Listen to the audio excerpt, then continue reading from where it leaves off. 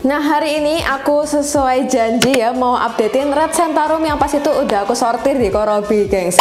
Nah waktu itu aku kan memang uh, sortir 5 ekor ya, tapi di sini tinggal tiga. Nah kenapa? Jujur banyak banget kalian itu yang tanya, kak bener gak sih Red Centarum itu gampang banget gigit ekor? Nah kali ini aku mau bahas tentang itu gengs. Apa benar Red Centarum itu mudah gigit ekor? Ini faktanya. Jadi gini ya gengs, tentang Red Centarum itu mudah gigit ekor benar atau enggak sebenarnya itu benar-benar uh, enggak enggak. Jadi aku sudah sering kali memberi tahu ke kalian atau memberi clue ke teman-teman uh, tentang maruret ya. Maruret itu jujur sensitif banget. Jadi uh, perlakuan kita ganti sedikit atau nggak cocok sedikit itu mereka mudah sensitif. Nah yang bikin mereka sensitif itu jadi stres. Nah karena stres itu mereka akhirnya bisa jadi gigit ekor atau bisa jadi adaptasi langsung down. Nah itu tuh sering terjadi di Maruret. Nah, tentang Red Centarum, selama ini aku ngekip, nah memang Red Centarum itu mungkin ya, mungkin ya dia itu tingkat stresnya lebih tinggi mungkin. Tapi bukan berarti mereka itu uh, pasti bakalan dan selalu semuanya itu gigit ekor. Enggak juga karena ada aku punya red centarum itu juga yang enggak seperti itu guys. Nah sebenarnya hal ini tuh udah sering aku sampaikan. Menurut pengalaman aku keep ikan-ikanku bahwa ikan gigit ekor itu karena poin pentingnya tuh nggak nyaman gengs. Nah tidak nyamannya ini bisa karena berbagai macam hal sih. Contoh airnya itu nggak cocok sama si ikan.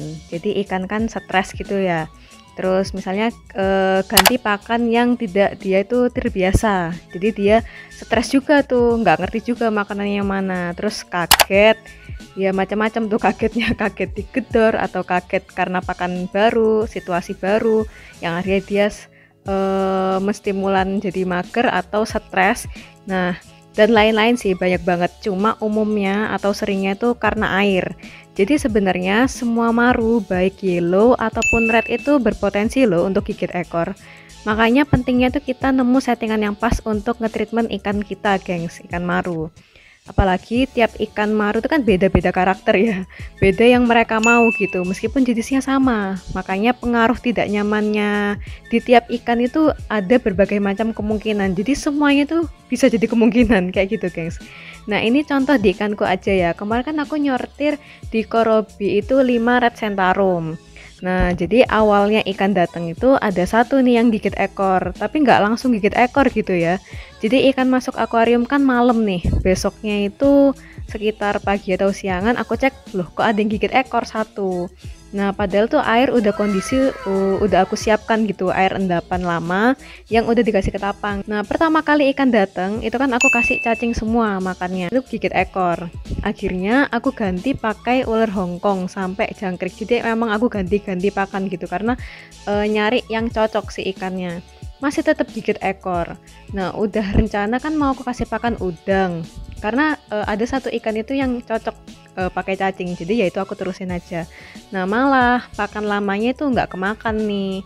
Akhirnya ada satu ikan itu yang dia tadi gigit ekor itu akhirnya nggak makan tiga harian terus ada pakan lama yang masih di situ akhirnya ikan mati mungkin matinya tuh juga efek stres terus juga nggak makan juga sih Nah, waktu masih percobaan pergantian pakan itu ya, gengs, dari ikan yang pertama, selang dua harian tuh red centarumku satunya juga gigit ekor.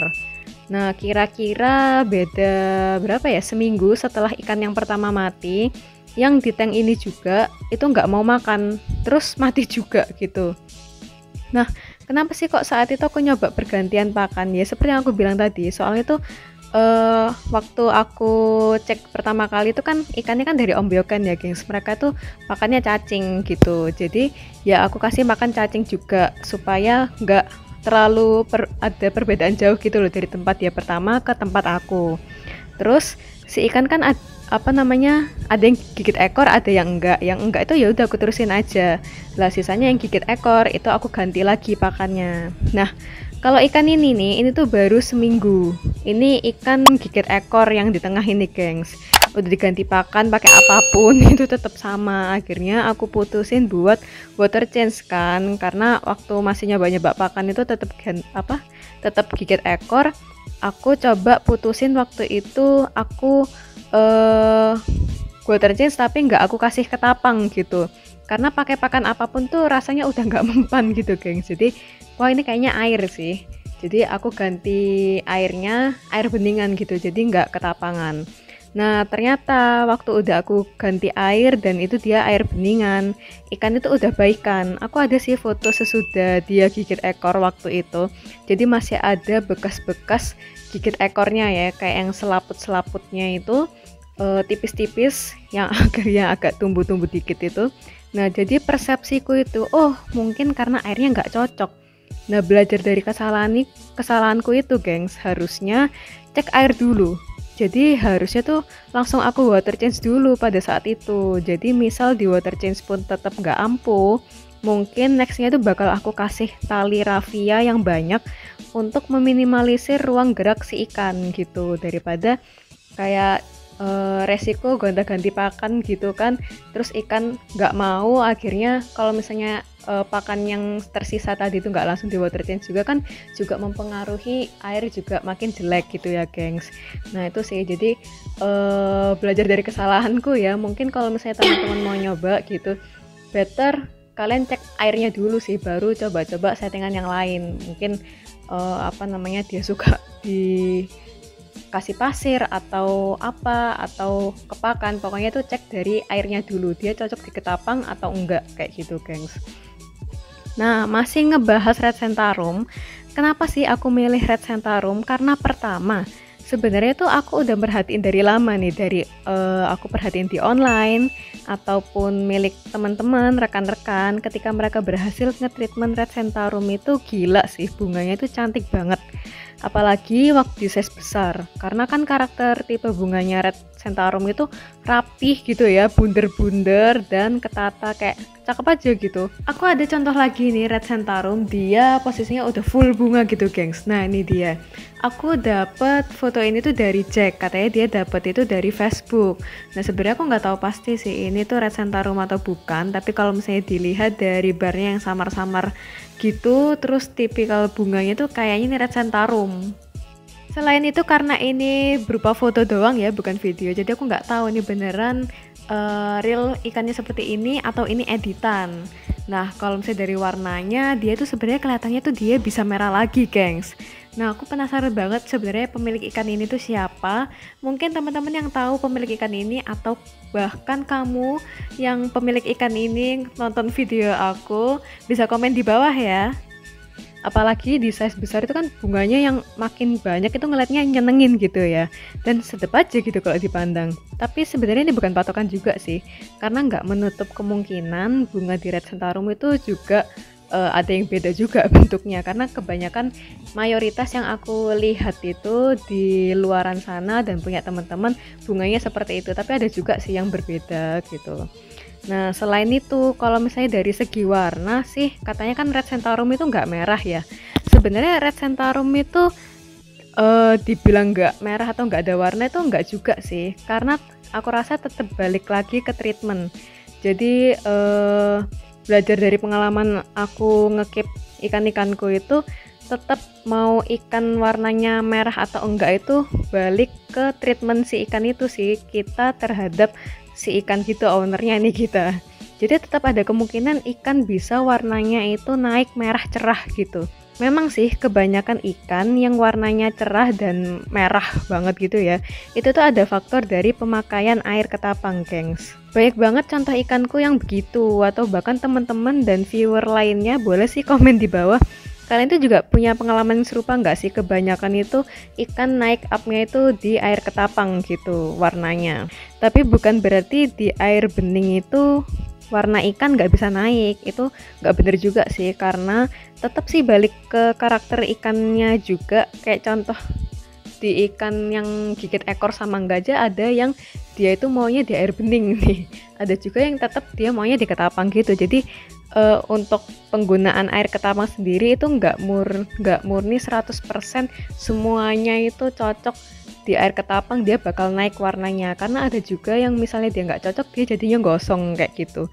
Jadi emang sebaiknya ketika kalian nyari apa ya settingan yang pas treatment untuk ikan kalian tuh uh, dicoba-coba ketika memang kalian udah rasa oh ini nggak cocok nih di ikanku kalian langsung ganti kayak gitu gengs. Cuma ya emang mayoritas ikan yang warnanya naik itu rata-rata ada pemberian air ketapang gengs. Entah itu pekat entah itu tipis kayak gitu. Nah dari ketiga ikan ini tuh nanti bakal ada yang aku besarin dua ikan rencana mungkin bakal aku mainin di size juve kali ya. Dan satu ikan bakal aku buat main di size junior atau senior. Karena seru banget kalau misalnya punya ikan yang besar gitu. Ya lihat aja sih nanti hasilnya. Kalau misalnya uh, udah gitu kan berarti pemberian pakanku tuh bakal beda ya pastinya bakal lebih banyak gitu. Karena kejar size juga. Tapi bingung juga sih kalau misalnya terlalu banyak takutnya ikan besar doang tapi bunganya minim. Jadi kalau bisa seimbang sih seiring berjalannya ikan nambah size itu bunganya juga nambah.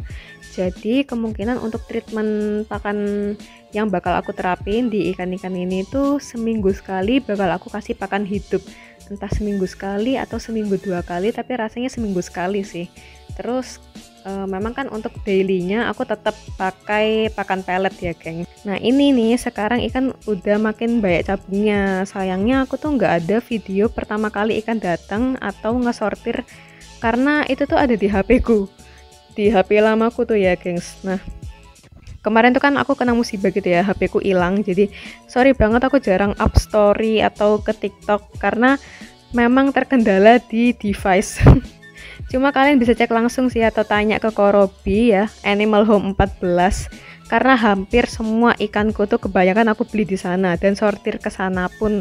Jadi ikan tuh aku treatment sendiri. Banyak banget yang bilang tuh kan ikanku beli jadi ya.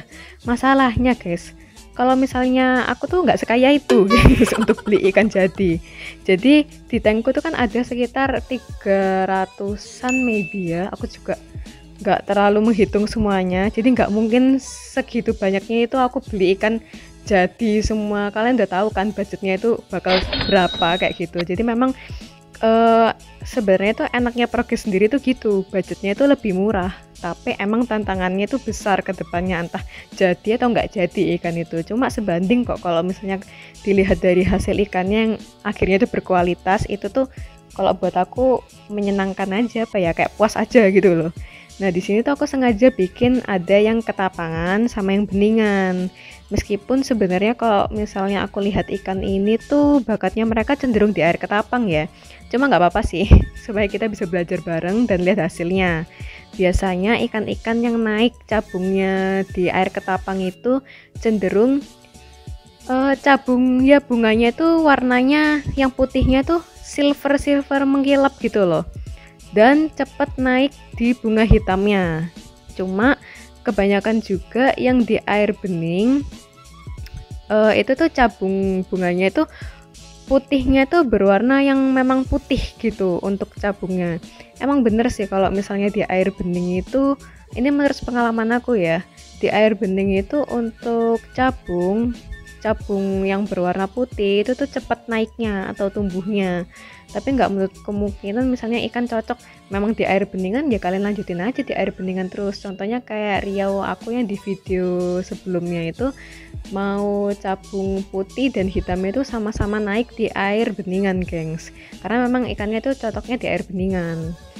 Nah, terus alasan aku kemarin ngesortir ikan red centarum ini ya di Animal Home 14 waktu itu tuh karena aku nggak sengaja nggak sengaja apa namanya ngelihat ikan red ini. Karena pas itu kan aku niatnya uh, lagi cek-cek ikan yellow kan. Eh ada red centarum ini kan. Nah pas aku lihat itu dari segi barnya dikit.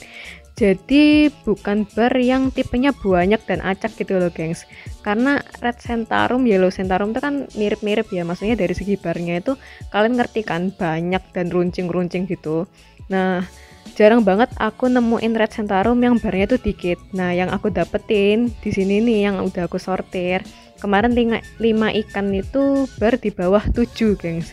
Jadi di sini ini rata-rata 6 per 6 dan 5 per 5 dan aku tuh ada feeling ikan ini punya bakat punya bakat itu yang bagus. Uh, sebenarnya nggak tahu ya. Mungkin karena keseringan ngeliat ikan sih jadi kadang nemu apa ya gitu loh buat tahu mana yang ada potensial bagus. Nah, buat yang belum tahu gimana dapetin feeling semacam itu, mungkin teman-teman tuh bisa cari banyak pengalaman sih. banyak pengalamannya tuh bisa dari sering nyortir ikan tuh ya dari ombyokan gitu. Atau misalnya kalian tuh ngetreatment uh, ada beberapa ikan gitu. Semakin banyak semakin sering uh, kalian itu apa ya mempelajari macam-macam ikan gitu kalian tuh bakal banyak pengalaman.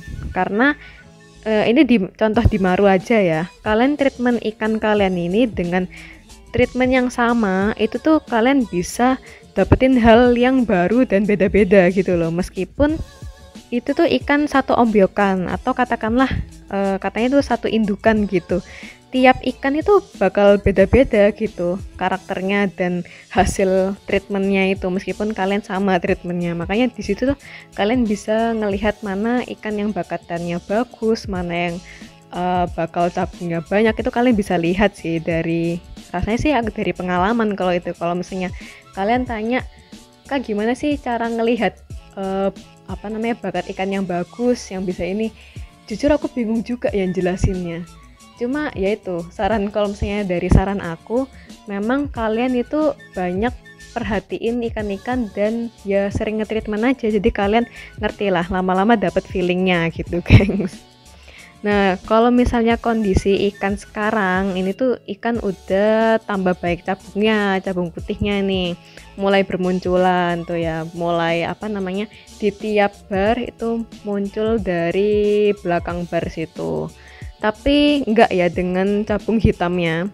Jadi ini yang aku perhatikan rata-rata di cabung putihnya aja yang nge-up. Dan untuk misalnya kalian perhatikan mentalnya memang mentalnya itu belum stabil.